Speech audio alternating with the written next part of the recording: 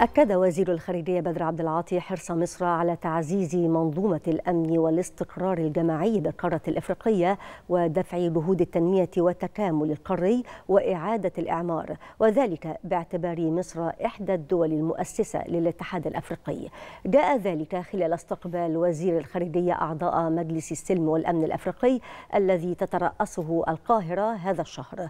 وقد نظمت الرئاسة المصرية لقاء لأعضاء المجلس مع أمين عام جامعة الدول العربية أحمد أبو الغيط لتبادل الرؤى حول سبل الاستجابة للتحديات والتطورات المتلاحقة في القارة الإفريقية والشرق الأوسط. كما نظمت الرئاسة المصرية للمجلس زيارة لوفد المجلس إلى بور السودان في أول زيارة من نوعها منذ تعليق عضوية السودان في الاتحاد الأفريقي عام 2021 حيث التقى وفد المجلس رئيس مجلس السيادة السوداني الانتقالي عبد الفتاح البرهان بالإضافة إلى العديد من رموز المجتمع المدني وممثلي الأحزاب والقوى السياسية بالسودان.